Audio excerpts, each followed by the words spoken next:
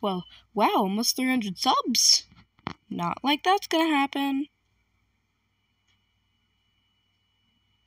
Right?